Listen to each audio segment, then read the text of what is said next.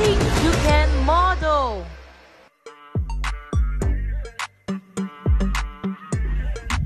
Một buổi sáng đẹp trời tại thủ đô Hà Nội đã diễn ra vòng casting trực tiếp chương trình truyền hình thực tế Show You Think You Can Model.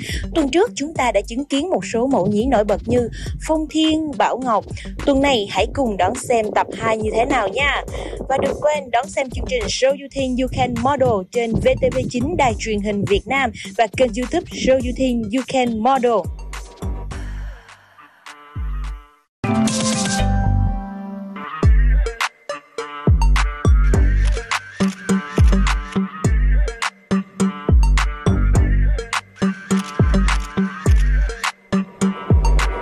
Các bạn, cô là Minh Hà và cô là host của chương trình So You Think You Can Model.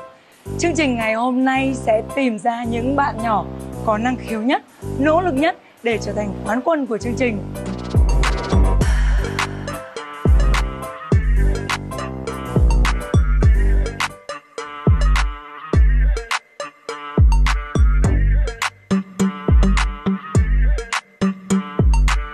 Đến với Sojotin Can Model mùa đầu tiên có lẽ là một cái điều gì đó nó rất là trở ngại, khó khăn bởi vì đây là mùa đầu tiên một chương trình rất mới, rất non trẻ và đó cũng chính là áp lực của chúng tôi cùng với tất cả đội ngũ ekip để bắt đầu thực hiện chương trình này. Sự tôi cảm thấy rất hạnh phúc bởi vì những điều chúng tôi bắt đầu cùng nhau làm được.